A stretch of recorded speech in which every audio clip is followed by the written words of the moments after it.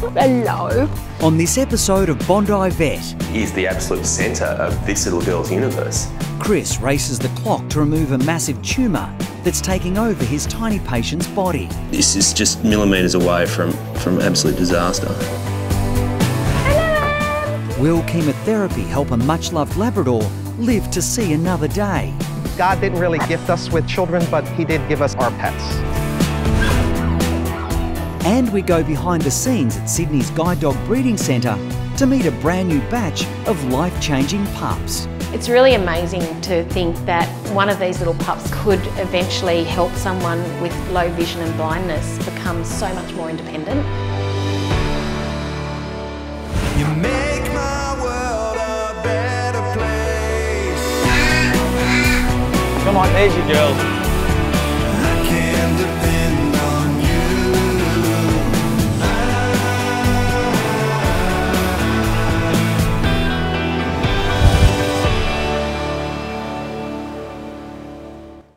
See Labrador puppies, there's a reason why they're Australia's most popular dog. They have these really cute little waggly bottoms, they have these absolutely gorgeous little heads, and you just immediately fall in love with them. But what makes these dogs really special is their role as guide dogs. Guide dogs bring freedom and independence to so many people, and they 100% transform lives. In this really special episode of Bondi Vet, we're going to take you behind the scenes of the Guide Dogs breeding program. And we're going to follow this litter of puppies on their journey to become canine superheroes.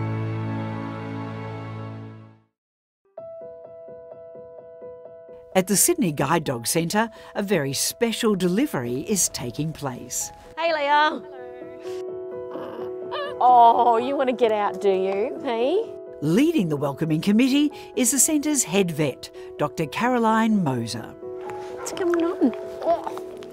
What's going on? It's really amazing to think that one of these little pups that's coming in today could eventually help someone with low vision and blindness become so much more independent. This is Beanie. So he's the only yellow one in the litter. Six weeks ago, Mum Yara gave birth to one gold and five black puppies at a guide dog volunteer's home. So it's a big day for them today. They're moving from their whelping home into the guide dog centre. There we go. For the next two weeks, the pups will stay at the centre until they're ready to move in with their puppy raisers. It's really important to reduce their stress as much as possible, and that's why we're basically just being led by the puppies today. Good boy. Lunchtime. That way. Where are you going? Grass is always greener in someone else's bowl. Pretty bold, these guys. They're not too scared. We like to expose them during this period to new environments and that will help their resilience long term, but also support them during that exposure. Yara, come. We always bring their mum in with them when they come into the centre and that helps them to look to mum and mum just goes, no, it's okay. I know this place, this place is fine. So she gives them the support that they need as well.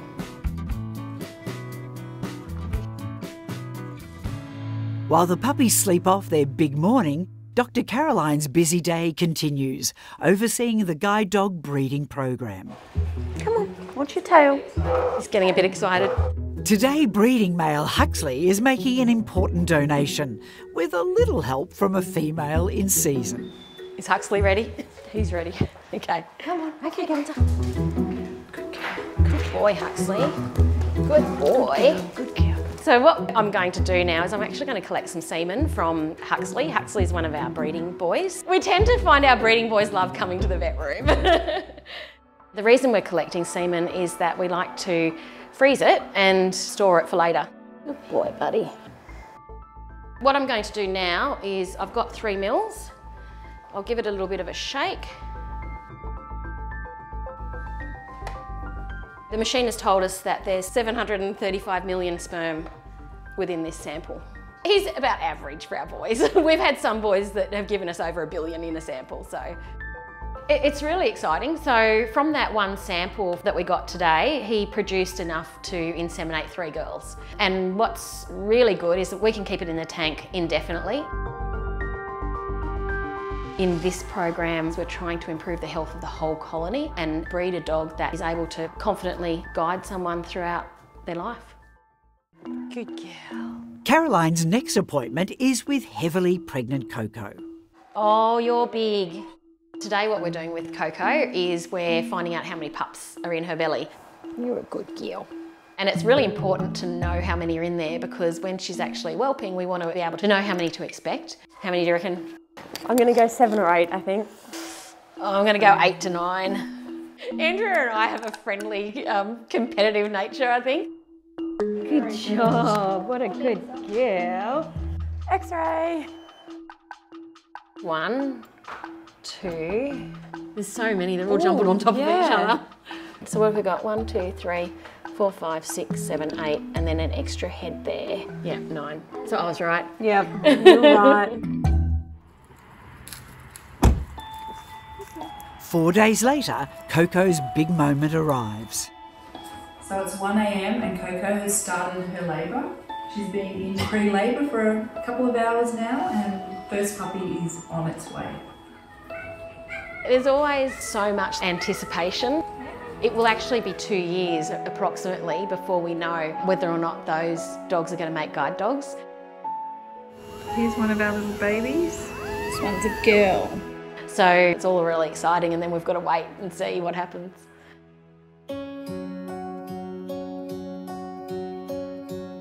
Good boy. Let's go. Come on. It's now been two weeks since Yara's pups arrived at the Guide Dog Centre. There we go. And little Utah has started the next phase of his journey with puppy raiser Meredith. It is a bit like having a newborn when you get them when they're eight weeks old and you do have to get up in the night and take them out to go to the toilet. You do have to settle them sometimes. Good boy. Come. Sit. I describe it to others as though I'm just borrowing the dog. So it's not mine. I love it like it's mine, but I always know that this dog has a future that's not with me. Stay. Utah is an exceptionally good little puppy. So during the course of the day, we'll do like a five minute little training session where he'll learn to sit, stay, drop, come. Beautiful. Good boy. And Utah, give, give, yes, good boy. Yes, you get lunch too now, don't you? Not yet. Sit. Good boy. He's a lovely, relaxed little boy. Good boy. Good boy. Good boy.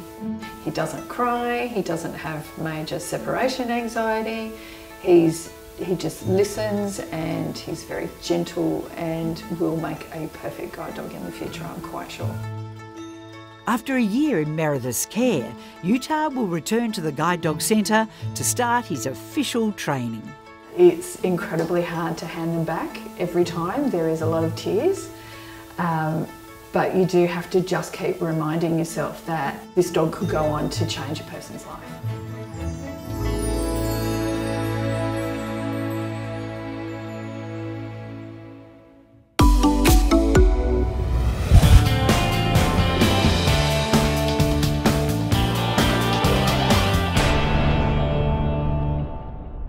Bondi Clinic, a devoted dad is waiting for Chris to examine his 12 year old daughter's pet mouse, Pino. He's about a year old. My daughter's pride and joy. She's a bit distraught about it at the moment. In just 36 hours, an ugly tumour has engulfed Pino's body. David and Pino. Hi. You're, you're David. Yeah. Where's Pino? Pino's in here. All right. There's um, Of course, Pino's in there. Yeah. Hey, Pino.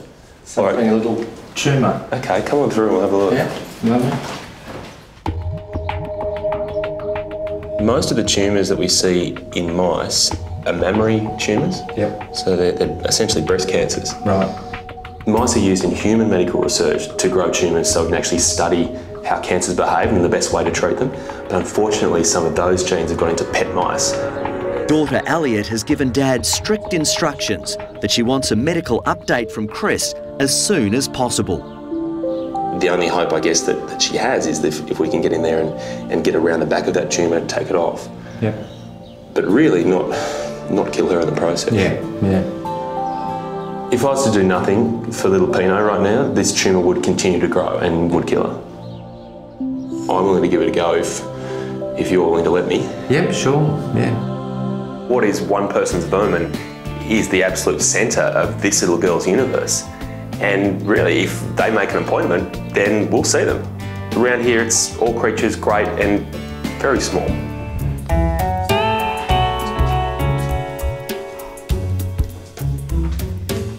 It's a big day.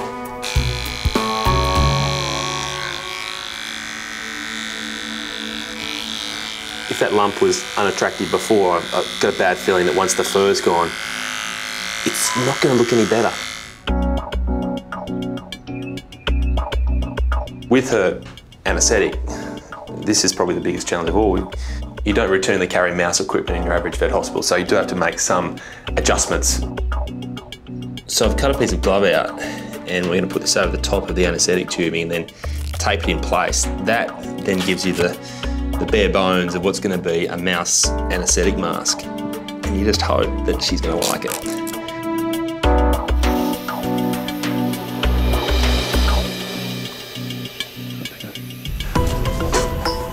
All gets very serious all of a sudden once the, the clock's ticking like this. She can really only be under anaesthetic for five, seven minutes, and that's about it.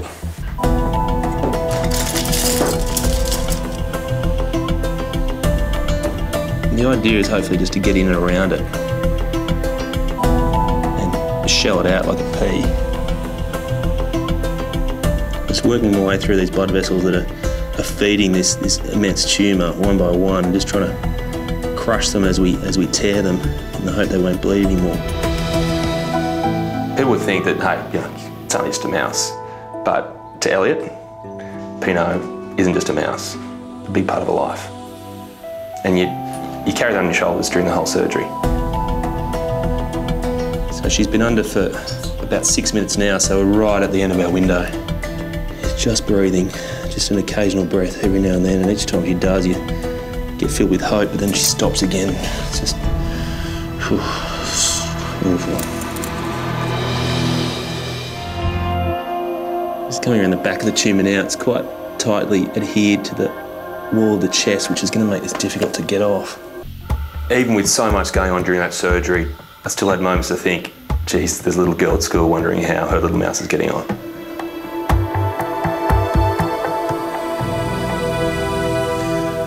There we go. You can see how close that tumour was to growing into her chest. That's her lung right there and her heart beating behind it. So this is just millimetres away from, from absolute disaster. The anaesthetic's still going. We've got to find a way to get this skin back together neatly and tidily and not lose her in the process. With the stitching finished, Pino should wake up quickly. But as the minutes go by, the tiny mouse is not regaining consciousness. It's all right. Hey, it's fine. You don't need to stress. There's a little girl waiting to see you. Yeah, she's at school right now, thinking about you. You gotta come around for her.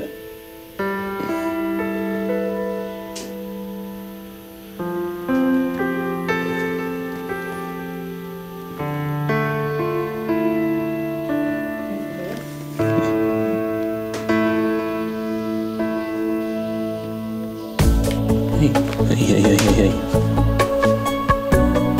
I'd say you look like a drowned rat, but that's just not really appropriate for you, is it? Pino might have survived the surgery, but there's still a huge fight ahead. To remove something like that would be a decent operation in a Labrador. We're talking about a mouse that weighs maybe 40 grams, 50 grams, and that's got to be 10 or 20 right there. She'd be going through a, a lot of shock right now. She's really just lost close to half the blood in her body. Yeah, at the moment, you can see she's hunched over, breathing deeply, just trying to force that blood around her body to satisfy the needs of her brain and all the different organs because they'd be screaming out for blood, but the blood just ain't there. She's half the mouse she used to be. Get you looking good. Look at her like the brush. Little Pino's recovering after Chris removed her massive tumour. The pet mouse nearly died on the operating table after a huge loss of blood. To nearly being dead in the surgery to all of a sudden being alive and, and full of energy, it, it's quite a transformation. She's now ready to go home to Elliot. I think it's time for some home delivery.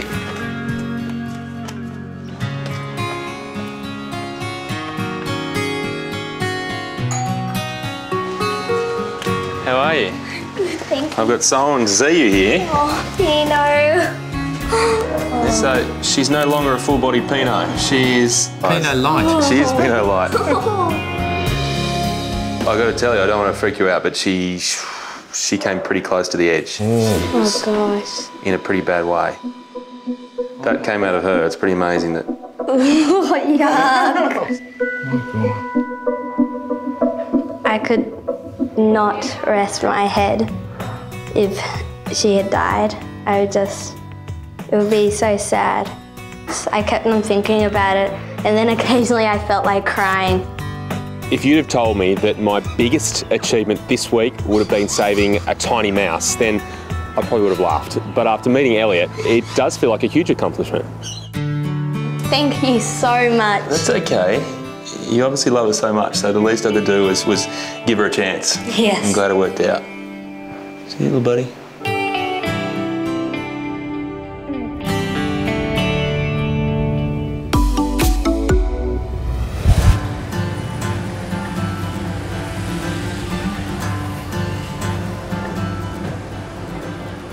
Scott's making a quick detour before he heads to the practice.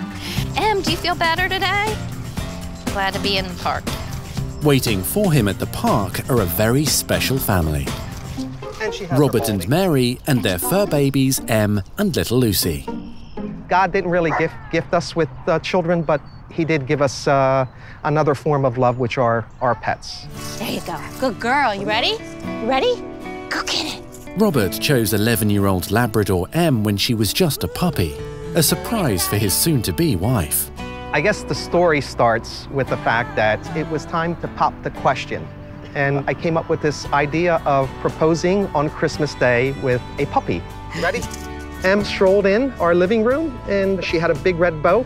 And uh, I also did this little stunt with cards to introduce M. M as in Mary, M as in mommy, and M as, will you marry me? Hi, guys. I felt like I'm interrupting on a beautiful family portrait moment here. But there is a heartbreaking reason why Scott is checking up on M today.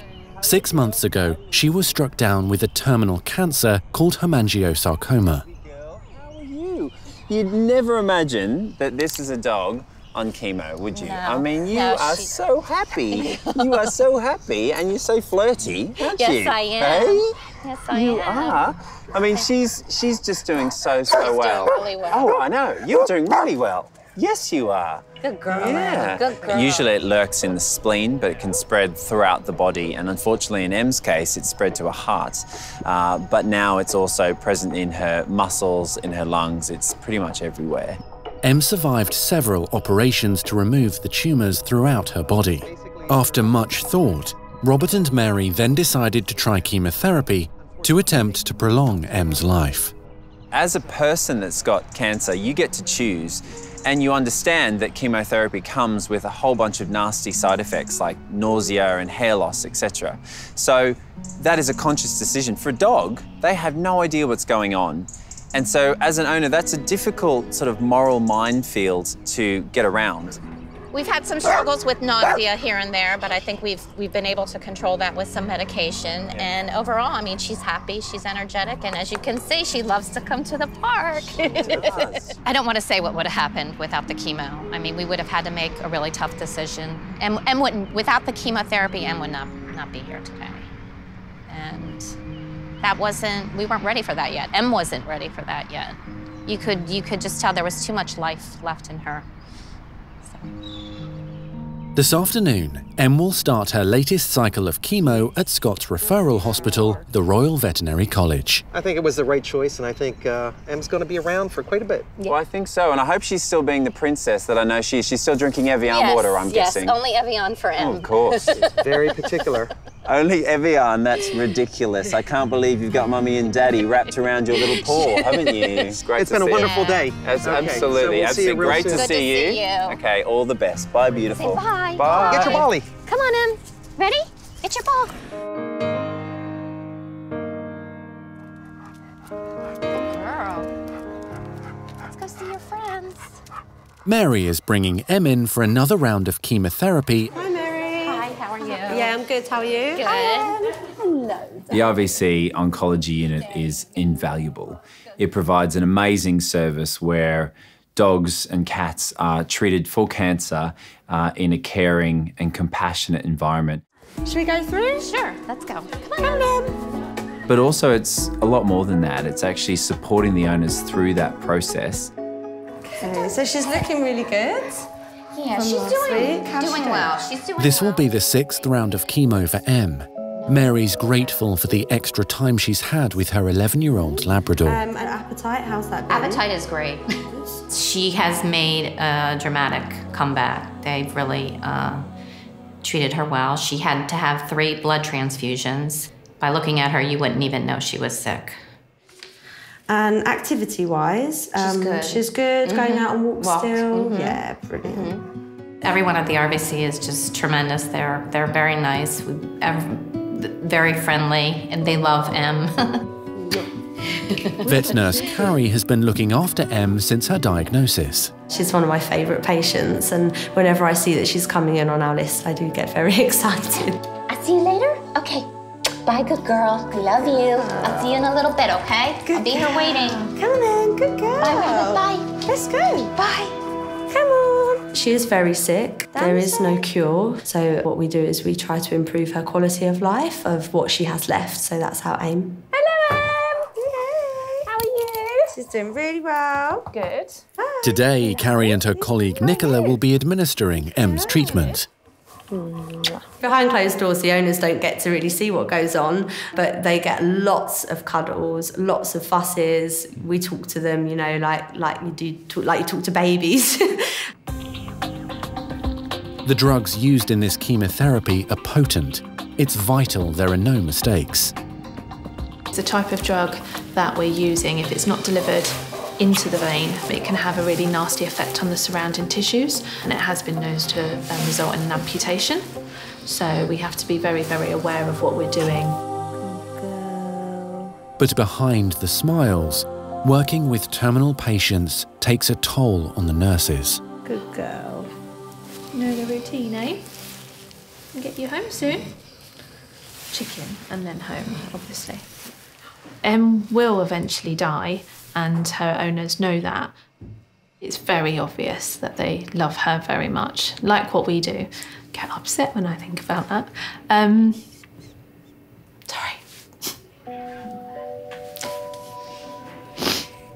And that's why I think it's important to remember we're trying to do our best with what we have and that these animals make a huge impact on a on a person and it's a huge responsibility.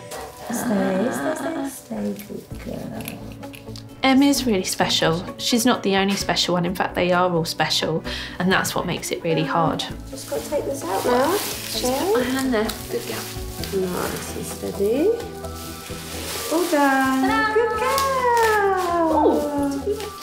Five months ago, um, Em was, you know, it was really touch and go. She was at death's door. Oh, yummy.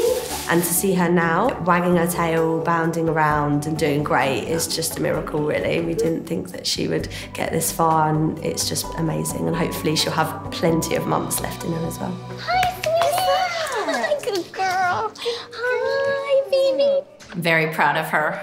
She doesn't want to stop. She wants to go to the park. She wants to get up. She wants to do things.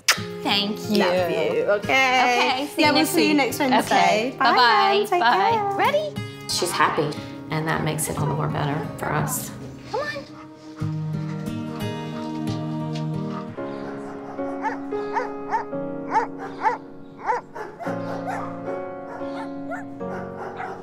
Ask pretty please. Ready? Stay. Go get it. Robert and Mary are lapping up the sunshine and taking it easy with Em. Although they accept her days are numbered, they are determined to make the most of every moment. We particularly cherish days like today. I mean, we have to. Thanks to the great oncologists, I have to say that uh, days like today are for us magnificent. Good girl. she's been so strong, stronger than both my husband and I. I think she's stronger than us. And uh, she's happy. She's just happy. And at this point, that's all that matters. All right. There you go. Hi, I'm Dr. Danny Dusek. If you love our show and want to see more amazing stories from the Bondi Vet team, just hit the subscribe button. Click that little notification bell and we'll see you for our next video.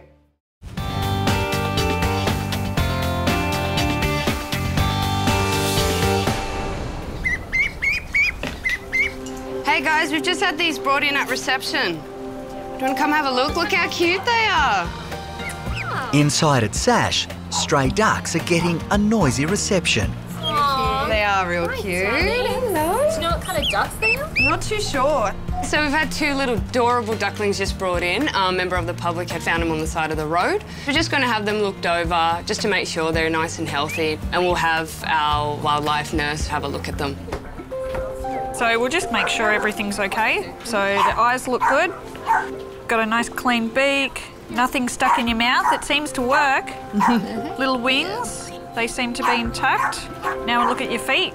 They both work. Don't seem to have any cuts or injuries. These ducklings look great. They've been well fed wherever they've been. They're in fantastic condition. It's a clean bill of health, and Jess is confident the pair aren't native ducks. Most commonly, white ducks are domestic ducks and they don't actually belong in the wild. They belong as backyard pets. Okay. So we're going to have to keep you here until we can find you somebody who's going to love you and give you a good home. Yeah, I think so, and I think they will. Hey, find you a home? yes.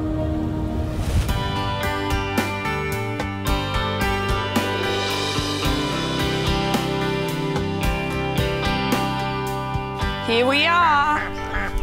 Oh, look at this. It's your new home. Look, we've got some new friends for you. A big pond to swim in. As for the two little lost ducklings, which were found wandering on the side of the road, they've now been adopted by Sash vet nurse and duck lover, Jess. I've fallen in love with the ducklings, so I've decided to take the ducklings home. There we go. Go find your friends. We've got a great setup. It's like a duck palace. We've got the wading pool, we've got the running area, they've got their little house. I think it'll be great. I think they'll love it. Happy chuckles, always a good sign. I've got the perfect names picked out for our male and female ducklings, Andrew and Lisa. What do you think about that? You like those names? Yeah? I'm hoping that because the ducklings are young, they'll be welcomed into the group with open arms, open wings.